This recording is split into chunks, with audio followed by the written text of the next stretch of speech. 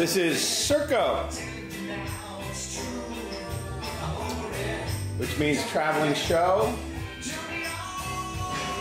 And it's a bronze with a ruby patina. It's 23 inches tall.